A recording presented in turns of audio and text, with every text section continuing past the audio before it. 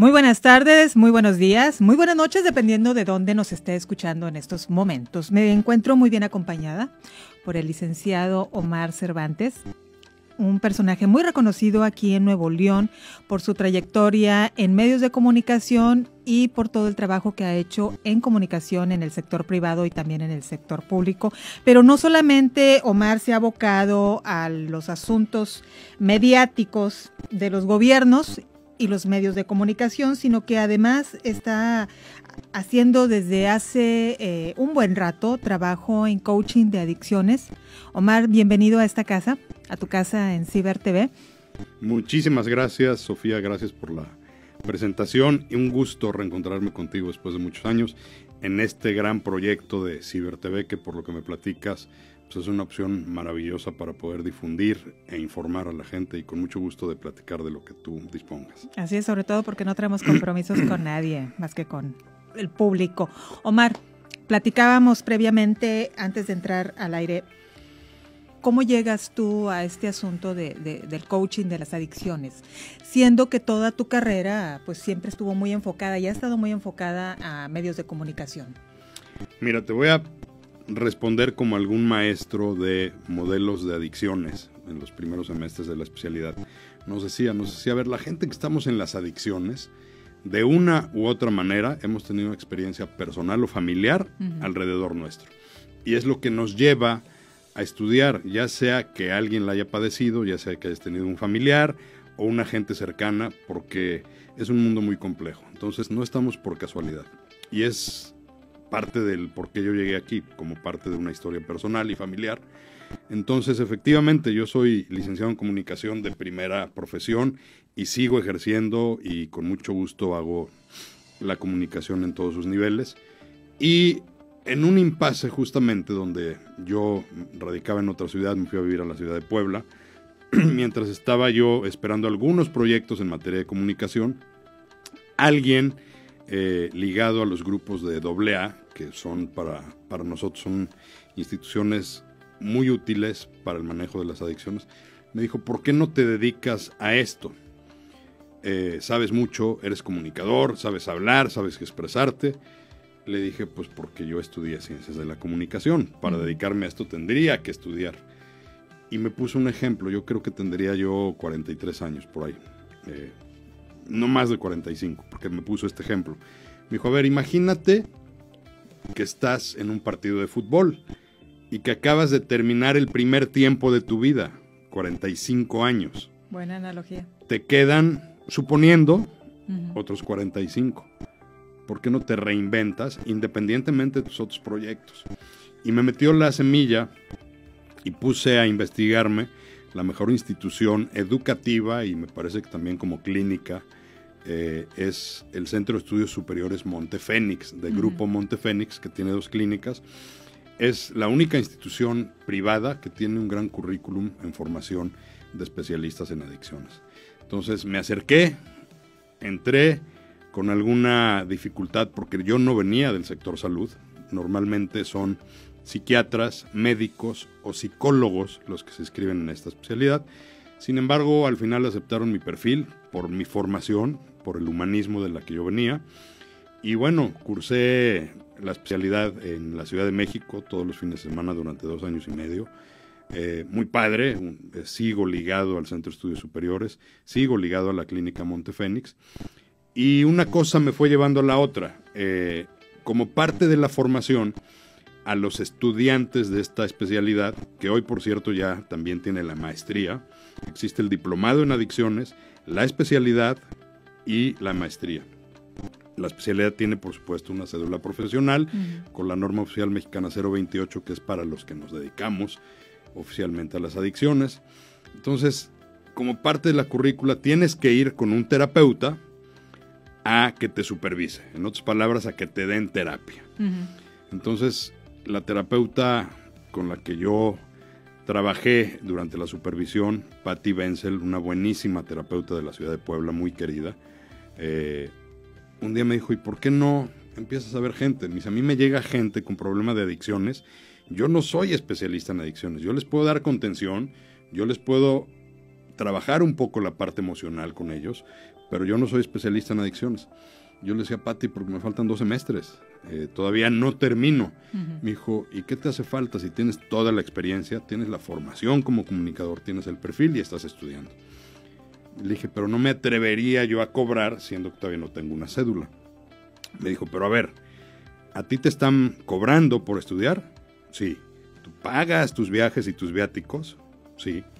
Pues entonces cobra una cuota de recuperación. Ya cuando tengas tu cédula, cobras como profesional. Pero por lo pronto empieza a ayudar gente y te sirve de práctica y empiezas a, a foguearte. ¿cómo, es una terapia de, coaching de adicciones? ¿Qué hace la eh, diferencia con una terapia formal, como la conocemos? Es muy similar. De hecho, a ver, repito, en la carrera hay médicos eh, que se especializan en adicciones, psiquiatras que se especializan en adicciones y psicólogos que se dedican que se especializan en adicciones. ¿Cuál es la diferencia? Que un psiquiatra, vamos a suponer, él tiene toda la formación, hizo su residencia, hizo su nivel de psiquiatría eh, en todos los temas de salud mental. Las adicciones son un tema de salud mental, vienen en el mismo catálogo de las enfermedades mentales, en el manual diagnóstico. Pero la mayoría, no generalizo, la mayoría se dedican al tratamiento, eh, digamos, farmacológico psiquiátrico, por su formación. Algunos sí ven la parte terapéutica. Eh, es el mismo caso de los médicos. Médicos que se especializan. Tengo un gran colega con el que hago trabajo en equipo, el doctor Eric Bernache, donde él, como médico, se especializó. Entonces hoy está viendo pacientes que tienen y él, por supuesto, ve la parte farmacológica. En la, en la, parte nuestra, por ejemplo, yo no receto porque yo no soy médico. Yo trabajo en equipo o con algún psiquiatra o con algún médico. Y los psicólogos o psicoterapeutas tienen una visión muy amplia, independientemente del modelo que usen, el modelo gestalt, el modelo de la teoría motivacional, el psicoanálisis, en fin, el que usen, son abiertos. El especialista en adicciones ve la adicción, como está definida a nivel internacional, como una enfermedad. Y nos enfocamos directamente en el perfil del adicto. ¿Cuál es la diferencia? Que aquí hay que romper creencias, hay que partir de la base de que el adicto normalmente, como yo les digo, nadie llega diciendo, oigan, aquí, dejan, aquí ayudan a dejar de beber cuando uno está en la fiesta, o aquí ayudan a dejar de drogarse cuando alguien todavía lo está disfrutando. Normalmente llegan por un traumatismo, por un problema, por tocar fondo, porque los manda la familia. Entonces llegan con resistencia. ¿Qué tenemos que hacer? Tener empatía y conocer la enfermedad de la adicción y de la codependencia, que es la enfermedad paralela que desarrolla la familia, en su totalidad. El enfoque que le da Montefénix es un enfoque del modelo sistémico familiar. Entonces, trabajamos con el adicto y con la familia alrededor del adicto, porque todos de alguna manera desarrollan situaciones. Entonces, Patti me decía, pues yo veo terapias como contigo, pero yo no alcanzo a entender cómo se desarrolla la enfermedad. Entonces, ¿por qué no? Entonces, Patty empezó a mandarme, digamos, consultantes con los que yo tuve el privilegio de trabajar en mis primeros inicios. No tenía ni consultorio, pedí un consultorio que me prestaban o me rentaban por horas. y, la verdad me resultó fascinante. es, eh, trabajar con seres humanos y trabajar con la salud mental es todo un reto, es un área de oportunidad se ven milagros de recuperación, que eso es muy motivante cuando una persona te dice, gracias a que estuve trabajando contigo, mi vida cambió. Pero también se ven tragedias. Me ha tocado ver gente que ha fallecido en el camino y entonces te vas haciendo sensible, vas haciendo empatía, trabajas con la familia. Y una cosa me llevó a otra. Después de eso eh, ya terminé, eh, me titulé con el mejor promedio académico Ahí mismo en Montefénix me ofrecieron trabajo. Trabajé como terapeuta interno en la clínica Montefénix, que tiene el modelo Minnesota, que es el modelo más probado a nivel internacional. Y salí y lo he combinado siempre con mis actividades como comunicador. ¿Qué es el modelo Minnesota? ¿En qué consiste? El modelo Minnesota es un modelo que residencial, es decir, internas al paciente, y que abarca diversos pilares en la recuperación el pilar médico, o sea, la desintoxicación del paciente a cargo del equipo médico. Eh, eso también es con fármacos. Eso a veces es con fármacos, a veces es a nivel de sueros, a veces es dependiendo de la sustancia. El alcohol y la cocaína o la marihuana pues, tienen diferente modelo de desintoxicación, pero eventualmente si es con fármacos, si es un grupo médico el que lo atiende. Ese mismo grupo médico ve la parte psiquiátrica también, porque muchas veces el paciente en adicción no solamente es adicto, sino tiene alguna enfermedad mental paralela, entonces se atiende hay un grupo de psicoterapeutas, hay un grupo de psicoterapeutas familiares y se trabaja también con el modelo de los 12 pasos. El modelo Minnesota trabaja con el programa de alcohólicos anónimos o narcóticos anónimos, tienen sus grupos internos en la clínica. Entonces es un modelo que dura, dependiendo de la clínica, de cinco semanas en adelante en promedio, donde se les prepara a los pacientes para entender la enfermedad.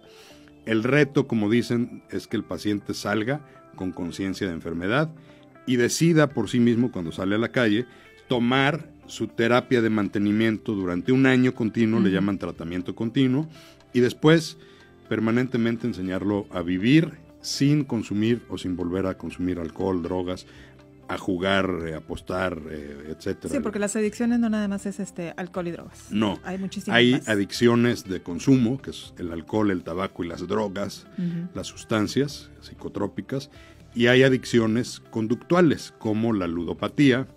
Eh, no está considerada como adicción como tal, pero las compras compulsivas, la comida compulsiva, el sexo compulsivo, eh, se relacionan mucho algunos trastornos de la conducta alimentaria. Entonces, evidentemente, el tratamiento es casuístico, cada paciente se trata de manera diferente, pero el modelo te permite tener diversas herramientas para explorar la enfermedad y las causas. Entonces, sí se requiere un grado de especialización. Eh, y cuando además tienes una historia de vida personal en la que estuviste directa o indirectamente. o sea, tú ya estuviste en esos zapatos, o sea, eso es un plus, ¿no? Mira, por llamarlo de este, alguna forma. Lo, lo, hago abiertamente porque ya llevo muchos años, afortunadamente, en rehabilitación.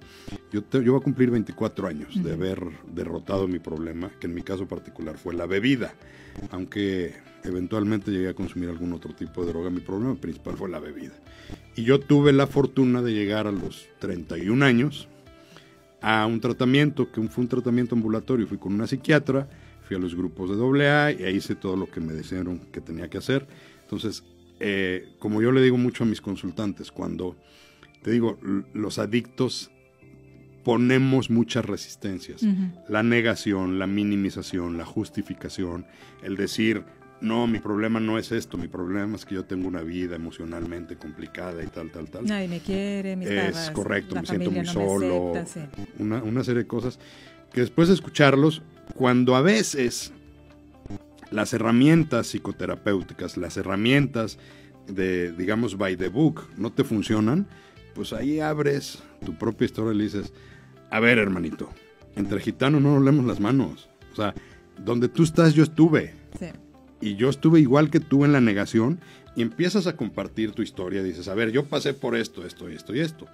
Y gracias a Dios, hoy estoy limpio de todo eso y además tengo la fortuna de trabajar contigo para ayudarte, porque tengo una cédula profesional, pero tengo una historia. Entonces yo les digo, cuando presenté mi libro, porque escribí un libro también como parte de todo este trayecto, que se llama La alegría de vivir un viaje de las tinieblas a la luz, yo les decía, hay muchos libros académicos, hay muchos libros de ayuda mutua, hay muchos libros de autoayuda. Este es un libro que es una historia de un personaje que yo le di forma, que tiene parte de autobiográfico, parte de mi trabajo como, como consultor en adicciones. Y entonces yo les decía, la ventaja de quienes tenemos la preparación académica, pero que también vivimos en ese infierno, es que ya sabemos de alguna forma a dónde lleva el camino, dónde termina el camino, y además tenemos la fortuna de estarlo platicando y de haber salido. Entonces, no importa cuánto hayas sufrido, no importa qué tan bajo hayas caído, al final de cuentas, las historias son diferentes pero muy parecidas y tienen una solución si tú quieres. Entonces, ¿cuál es la diferencia, decías? La diferencia es que normalmente el adicto no quiere. El adicto dice, no, yo no soy. El vecino a lo mejor, el primo, el compadre, el pariente, yo no. Y la familia a veces también vive este fenómeno de, no, no, no, no. Mi hijo sí consume como todos los demás, tiene algunos problemitas porque le está pasando mal, pero no. Entonces hay que romper muchas resistencias. Reconocer. Y la gente a veces dice, me ha pasado, eh, no, yo no soy adicto, yo prefiero ir con mi psicoterapeuta. Y a veces los psicoterapeutas efectivamente en su especialidad, con falta de información de lo que es la adicción, les dicen, y no critico, simplemente es un tema complementario, les dicen, a ver, tu tema es que tú tienes depresión, tienes ansiedad, tienes un tema de emocional, hay que atenderlo eso. Yo, si tú quieres seguir consumiendo, no quieres seguir consumiendo, en eso no me meto. Efectivamente, a veces traen un problema paralelo, pero ya cuando hay adicción, tú no le puedes decir a un adicto que puede o no seguir consumiendo. La única solución para la adicción es la abstinencia absoluta. Y para lograr la abstinencia absoluta, pues se requiere todo un caminar. Hay una fase previa que es el abuso, porque no todos los consumidores llegan a la adicción. Hay muchos abusadores. En el caso del abuso, sí hay forma de revertirlo mediante otras técnicas para que no se convierta en un problema más grave. Pero ya que hay adicción, la adicción, la única solución es la abstinencia. ¿Qué pasa, por ejemplo, ahorita que mencionas esto, las diferencias y hablando del abuso, con aquellas personas que no te consumen una gota de alcohol o se echan una cervecita cuando llegan a casa del trabajo, pero agarran, digo, aquí en Monterrey, en el norte, tenemos el miércoles, el jueves, el viernes no sé qué y el sábado, o sea, empiezas a agarrar la jarra desde el jueves y a morir. Sobre todo de viernes para sábado y de sábado para domingo. ¿Tienes un problema? Depende. Hay ¿O es cultural? No, hay que analizar. Por supuesto, una de las causas de todas las adicciones es la cultura. Sí. La cultura y la comercialización. Después de que se regule la marihuana, vamos a ver cómo nos va con ese tema. Pero por supuesto, desde el punto de vista comercial, la mercadotecnia y la cultura, por supuesto, es una causa. Pero no todos los que consumen se enferman. Eso sí, también hay que aclararlo. Entonces, Entra ahí lo que dicen que es genético que traes congénito, congénito. Congénito. O sea, no es genético porque no es hereditario. Es congénito porque tienes la probabilidad, como la diabetes. La puedes desarrollar o no porque tienes antecedentes. Pero ese es uno de los factores, el ser congénito. Pero hay factores multicausales que la hacen desarrollar. Entonces hay tres categorías que hay que diferenciar. Uso, abuso y dependencia. Uso es la gente que de vez en cuando se toma una copa, la deja a la mitad porque solamente brindó y no vuelve a saber. Incluso hay otras drogas que pueden ser usadas lúdica o recreativamente, que alguien fue a un viaje y probó por curiosidad, entonces ese consumidor usa la sustancia. De ahí brincamos al abuso, que ya es gente que tiene hábitos recurrentes, que es parte de su vida, que efectivamente, como dices, agarra rachas de repente, pero, ojo, todavía no tiene ninguna consecuencia en ningún orden de su vida. Y normalmente es gente que, ojo, todavía lo puede controlar. Es gente que dice, a ver, ya se me está pasando, estoy empezando a tener problemas en la chamba, con la familia, con el dinero, tal, tal, tal, tal. Ponen un alto. Ponen un alto y puede pasar una temporada y lo vuelven a hacer. Pero el adicto, que no necesariamente se mide en cantidad ni en frecuencia, sino en las consecuencias que le hace el consumir. Entonces, efectivamente, si un personaje como el que platicas, en uno de esos cuatro días tiene blackouts, tiene un accidente, una laguna, una laguna mental. Te enfiestaste y al día siguiente dices, ¿ontoy? Ah, ¿Dónde amanecí? ¿Dónde dejé la cartera? ¿El carro? ¿Dónde estuve? Y entonces empiezas a hacer llamadas y a, a los cuates, oye, ¿Dónde quedó mi carro? ¿Quién se quedó con mi cartera? ¿Quién me trajo a la casa? Entonces, si empiezas a tener lagunas mentales, si no puedes poner un alto cuando empiezas a consumir Y si el hacerlo te está generando consecuencias en otros órdenes de tu vida, te si te agarró el torita, si te agarró el torito y te llevaron, si tuviste una riña, si tuviste un accidente automovilístico, si traes problemas con la familia, si traes problemas en la escuela o en el trabajo, si estás gastando más de lo que tienes en tu consumo, son sea, 14 variables aproximadamente tienes las que problema. medimos nosotros. Y hay dos que son indistintas. A lo mejor no tienes las otras 12, pero si tienes estas dos, nosotros clínicamente decimos ahí puede haber un problema. Entonces, tolerancia, definiendo lo que es tolerancia como la necesidad de más sustancia para lograr el mismo efecto. Lo voy a poner en esta tierra cervecera en cervezas. Cuando tú empezaste a tomar, te tomabas dos y te decías, ah, ya estoy a gusto. Pero va pasando el tiempo y ahora te tomas un 6 y estás igual que con dos. Pero va pasando el tiempo y te tomas un 12. Y, Y va pasando el tiempo y te tomas un cartón hasta que eventualmente vas perdiendo el control. Entonces, la tolerancia se define como la necesidad de más sustancia y la pérdida del control. Y la abstinencia, si a una persona que ya consume con estos hábitos, tú le dices, deja de fumar, deja de drogarte, deja de consumir alcohol, deja de ir al casino, deja de apostar, abruptamente, una persona que no tiene problemas va a decir, está bien, este, va, ya escarmenté, lo va a dejar de hacer y no pasa nada. Una persona que tiene adicción desarrolla lo que se llama síndrome de abstinencia. ¿Qué quiere decir? Ir, hay irritabilidad, hay ansiedad, hay nerviosismo, llega esta angustia de necesito fumar o necesito beber o necesito Comer. drogarme o necesito comer o necesito ir al casino y eventualmente recae. O hay incluso, dependiendo del nivel de adicción que hay, hay que internar, porque ya su mente y su organismo requiere de la sustancia y entonces hay que internar, hay que intervenir. Esto pasa en la parte de desintoxicación. Y este síndrome es un síndrome muy claro que para nosotros es... ¿Cómo lo puede ubicar la familia? Que muchas veces eh, eh, una de las cosas que mencionas, y es muy sabida, como adicto estás negado a aceptar.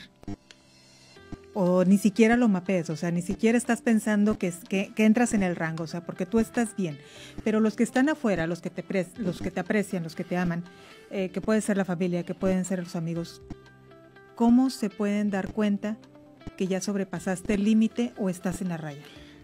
Si hay tolerancia es evidente. O sea, si antes te enfiestabas una vez por mes y ahora te enfiestas cada 15 días o cada semana o cuatro veces por semana, eso es, hay ahí ya una, un foco rojo. Una alerta, sí. Y el tema de la, de la abstinencia, a ver, casi todos los adictos te dicen, yo lo dejo cuando quiera y yo lo puedo controlar. Tómale la palabra, dile, órale va, te reto a que en 15 días, amorosamente, o sea, no... Eh, tratar de intervenir en un adicto desde la parte de la represión es lo peor que puede haber, porque se va a revelar. Sí. Pero entonces amorosamente, de verdad, lo puedes dejar y lo retas con algún tipo de premiación positivo, algún estímulo positivo, o simplemente como un desafío. A ver, quiero ver que dejes de hacerlo durante 15 días. Si en esos 15 días suceden estos síntomas de irritabilidad, falta de sueño, depresión, este, ansiedad, depende de la sustancia, es el tipo de reacciones que hay. Seguramente ahí hay un problema. Y entonces hay que entender que esto es una enfermedad mental. Esto no es una enfermedad, como dicen, eh, de las emociones solamente. O Y- física. y- o física. Tampoco es un vicio, tampoco es un mal hábito, no es un pecado. O sea, no hay que estigmatizar a los adictos. El, el adicto es un enfermo mental, igual que quien tiene un trastorno de ansiedad generalizada, un trastorno de depresión generalizada, un trastorno de bipolar, en fin. El trastorno por uso de sustancias, la adicción, es una enfermedad mental. Entonces hay que entender el cerebro. ¿Qué pasa con el cerebro de un adicto? En el cerebro se generan todos los estímulos que nos suceden a los seres humanos. El que maneja el organismo es el cerebro. Románticamente decimos que es el corazón y que en el corazón se encuentra todo. No, el corazón es un músculo que bombea a todo el organismo. El que manda es el cerebro. ¿Qué sucede con el cerebro? Hay, eh, digamos, vamos a llamarle sustancias, eh, neurotransmisores, que reaccionan ante todos los estímulos nerviosos del ser humano. Una de esas sustancias es la dopamina. La dopamina, que es una sustancia, la sustancia del placer, y la serotonina, que es la sustancia de la felicidad, se estimulan adicionalmente cuando uno consume una sustancia o tiene una actividad de esta naturaleza. Entonces tu cerebro empieza a producir más dopamina de la normal. Tu cerebro piensa que es placentero porque le estás mandando la señal, él no sabe si hace daño o no hace daño. Dice, esto que está pasando está padre. Se combina con la corteza prefrontal que tenemos los seres humanos, es lo que nos diferencia de los animales. Los animales no tienen la corteza prefrontal, que es donde se localiza la razón y la lógica. Que es la que te dice que si tú metes la mano al fuego y te quemas, tu cerebro lo registra y no lo vuelves a meter, porque tu razón te dice te vas a quemar.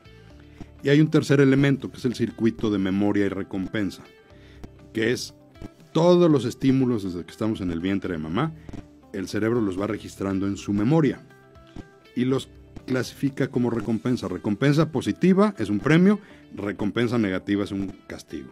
Entonces tu cerebro asocia.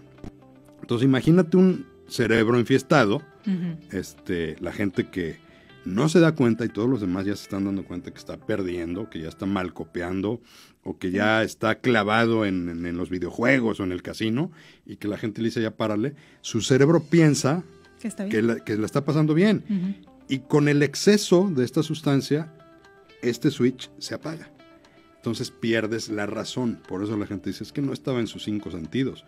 Efectivamente, ya no estaba siendo racional.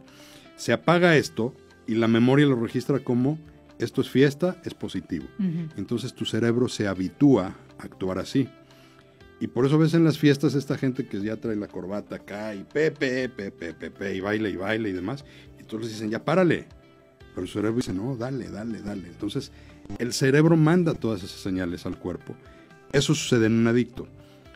Esto es desde el punto de vista de la neurociencia, pero desde tu pregunta la familia lo puede percibir. O sea, la familia puede percibir cuando un chavo, porque me toca ver adolescentes también, no puede dejar de jugar porque ya no está razonando, porque ya su cerebro en toda esta intoxicación no es capaz de decir paro, y empieza a tener consecuencias, ahí es donde aún se puede prevenir. Ojalá la gente llevara a sus familiares a tiempo, a tiempo para poder prevenir. La realidad es que la mayoría de la gente ya, ya que, como se dice coloquialmente, tocó fondo y ya no es prevención, ya es intervención, atención y tratamiento. Y después prevención de recaídas. Ahorita que mencionas el asunto de los videojuegos, eh, yo que estoy muy metida en el área de noticias desde hace muchos años, entonces pues parte de mi chamba todos los días es estar leyendo ¿no? lo que ocurre localmente, nacionalmente y en el resto del mundo. Y tengo dos casos, uno de ellos ocurrió en Japón y el otro en Estados Unidos, de adolescentes que mataron a sus padres porque les quitaron la computadora, porque ya no los dejaron jugar videojuegos. O simplemente les quitaron el internet, ¿sabes qué? Se acabó el internet, porque estás bajando eh, tu rendimiento en la escuela, te la pasas de 24 horas al día, te la pasas 12 jugando, eh, ya no estás durmiendo, no comes, no sales, ya no tienes amigos. Y es una adicción que todavía creo yo no se le da la importancia que, que, requiere. Y ahorita tú que mencionabas eso lo recordé, ¿no? Como cuando como familia no mapeamos y no dimensionamos la bronca que tenemos encima, que hace falta más difusión, más información, más apoyo por parte de los gobiernos. Más información y por eso aplaudo este tipo de programas en los que se habla así, de frente, de cómo son las cosas, porque la prevención nace de la educación y de la información. Y efectivamente las instituciones públicas y privadas, no solo el gobierno, también los sectores privados, las empresas deberían tener talleres de prevención para sus trabajadores, para sus empleados. En las escuelas hay que dar charlas desde temprano, por lo menos desde secundaria. Me atrevería a decir que desde que te empiezan a dar formación sexual, que si no me equivoco es en sexto de primaria, pero bueno, seamos conservadores. Ya empezamos desde el tercer grado. Bueno, seamos conservadores. En primero, segundo, secundaria hay que empezar a dar prevención. Hay que dar información, hay que educar a los padres, porque efectivamente este problema es, es real. Y esto que hicieron los padres seguramente fue una medida correcta, pero les faltó complementar con terapia. O sea, te quito la internet, te quito la consola, pero te doy ayuda, porque ellos piensan que es una conducta mala, es un niño mal portado. Es un niño mal portado que hay que castigarlo. No, es un adicto que si se lo quitas va a perder la cabeza, va a perder la razón y puede tener consecuencia y hay que contenerlo. Eh, el paciente más joven que yo he tenido es justo de 13 años. Me llegó a los 13 años, paciente masculino, 13 años, menor de edad, llegó con sus padres, obviamente por ser menor de edad, porque había empezado a robarles de sus tarjetas de crédito a comprar videojuegos en línea. Lo sorprendieron, di una intervención breve, porque a esa edad pues, es complejo, y les di recomendaciones a la familia de cómo apoyarlo a no seguir en ese camino. Pasaron cuatro o cinco años eh, y regresó a los 17, 18 años, eh, relatando que había estado limpio durante cinco años y justo la pandemia fue un detonador para que volviera a jugar. Y entonces ahora empezó a robar, pero no solamente cibernéticamente, ahora empezó a robar de la caja fuerte, empezó a robar a la familia. Entonces cuando la familia se dio cuenta, de entrada lo vieron jugar y dijeron, de esa consola de dónde salió, en fin. Y afortunadamente eh, lo detectaron a tiempo, lo llevaron conmigo. De hecho me dijo, ¿no te acuerdas de mí? Le dije, no. Le dije, vine contigo cuando tenía 13 años. Le dije, pues no, ahorita eres un hombre este, pero qué bueno que regresaste. Igual hicimos una intervención breve, la familia está también haciendo lo que le corresponde. Entonces, ¿qué hay que hacer? Hay que hablar de las cosas como son, o sea, no es un castigo, es... Eh, la gente cuando habla, por ejemplo, de adicciones piensa solamente en el, en, el T por 8 que está debajo del puente, perdido, con todo respeto para todos ellos, sin, sin etiquetar, o el que fuma marihuana o inhala cocaína y ya se perdió. Y no, hay muchísimo tipo de adicciones y no hay que estigmatizarlos, hay que ofrecerles la ayuda porque es una enfermedad. Claro, hay que aprender a tratar la enfermedad.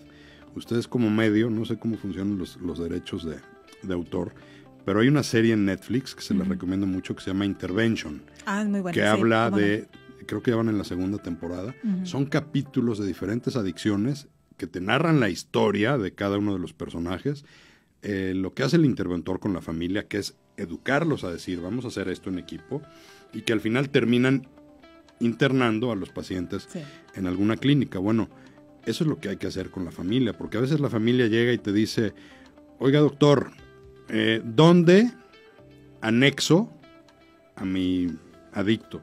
Y yo, a ver, a ver, a ver, para empezar los anexos están prohibidos. O sea, si no hay una clínica o un centro de recuperación con la norma 028, de entrada conmigo no es. Yo no le voy a llevar un anexo prohibido a un a lo mejor hay esfuerzos buenos pero también hay esfuerzos muy malos este, ustedes en los medios han, han, hecho historias de lo que pasa en los centros de rehabilitación que los famosos anexos son clínicas bueno no clínicas no la podemos llamar clínicas son centros de rehabilitación que, de carecen de todo tipo de métodos. Sí, y a los muchachos y, y, a los adultos que tienen ahí son los que de pronto se va a topar en la esquina y le andan vendiendo unos burritos o venden comida y los tienen a todos en, lugares hacinados. Le digo porque me, me, ha tocado a mí estar alguna vez en, cuando llega la Secretaría de Salud a revisar estos lugares y te das cuenta que tienen a 40 personas durmiendo en una, en una misma, sí, en una misma habitación, que tienen nada más dos baños, que a veces tienen a, mujeres y a hombres juntos, que ves niños, ves adolescentes con adultos y con diferentes grados de, de, adicción. Entonces sí son lugares muy tristes y que deberían de ser más eh, fiscalizados por la autoridad. Primero, efectivamente, yo lo que les digo a estas señoras es, a ver, no, su hijo, su hija, su familiar tiene una enfermedad, mándemelo y lo evalúo. Es que no quiere ir, necesito que vayan por él a la fuerza. No, entonces venga usted y platíqueme, porque a lo mejor la, la solución es que usted acuda a terapia para saber qué hacer. Porque efectivamente, gracias a estos centros, que yo no dudo que en algún momento hayan tenido buena fe para, para operar, pero que efectivamente cuando operan fuera de toda la norma ponen en riesgo la salud física y mental de los Y algunos no son baratos, ¿eh? porque mucha gente cree que son súper baratos y no. La familia paga y aparte mandan a la gente a vender cosas a la calle. Y tiene muchas repercusiones negativas, justo por eso están estigmatizados de repente los grupos de AA, porque la gente piensa que eso es AA y AA no tiene nada que ver con eso. AA es una de las organizaciones más serias a nivel mundial, tiene 86 años de existencia, ha salvado millones de vidas, se ha multiplicado en grupos de 12 pasos como narcóticos anónimos, codependientes anónimos, en fin, pero están certificados. Entonces yo lo que les digo es, primero, tráiganme al paciente. Si el paciente no quiere venir, bueno, venga la familia. Y ahí evaluamos las rutas, porque a veces el familiar lo que dice es, yo necesito anexarlo. No, a ver, si no es animal, con todo respeto, es un ser humano, vamos a ver cuál es el método. Y a veces el método es que el familiar aprenda de la enfermedad para saber cómo tratar al adicto. Y si el adicto hay que internarlo, bueno, pues hay que investigar, porque hay clínicas, desde clínicas públicas de los gobiernos estatales hasta clínicas privadas que son muy económicas. Precisamente, y hay otras, Hay de todo, Sofía. Hay clínicas gratuitas del sector salud público, que cada vez el sector público se profesionaliza más. Hoy a nivel nacional el CONADIC está haciendo una gran campaña de prevención de adicciones, está haciendo un gran trabajo de, prevención de adicciones y de atención de adicciones. Los gobiernos estatales tienen normalmente los centros estatales de recuperación. Hay clínicas privadas muy económicas. Yo lo único que les digo es chequen que tenga la norma 028. Y hay clínicas pues mucho más caras, pero es decir, el tipo socioeconómico no es un pedimento. la solución es la misma y está al alcance de quien quiere ayudarse o ayudar a su familia. Sí, Alcohólicos Anónimos es gratuito. Alcohólicos Anónimos, cuando la gente dice no me quiero internar, normalmente les proponemos un tratamiento combinado o ambulatorio. Ve a terapia individual, si, tiene, si observamos que necesita psiquiatría, ve con un psiquiatra ve a doble A y si tienes algún guía espiritual, ve con tu guía espiritual y entonces cubre las cuatro esquinas y si todavía estás en esa posición, posiblemente no es necesario que te internemos, pero tiene que haber una voluntad y hay gente que sale adelante sin necesidad de haberse internado. Entonces, pero siempre hay que estar acompañados, ¿no? Eso es bien importante, el respaldo de la familia, de los amigos. Siempre hay que tener un acompañamiento de especialistas, incluyendo los grupos de ayuda mutua, y efectivamente una red de apoyo. Una red de apoyo de la familia, los amigos, a veces son las empresas.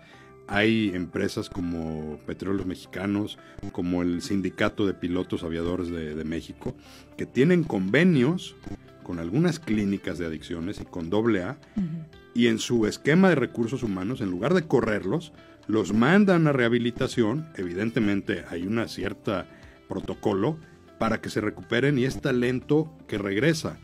Porque si vieras la cantidad de pérdida financiera que tienen las empresas o las instituciones por rotación de abandono de, o por despidos de adictos, entonces si las empresas hacen este tipo de convenios, si las instituciones le meten a la prevención de su personal y de su familia, porque el personal es el que trabaja, pero a veces el problema está en casa, en la esposa, los hijos, los padres.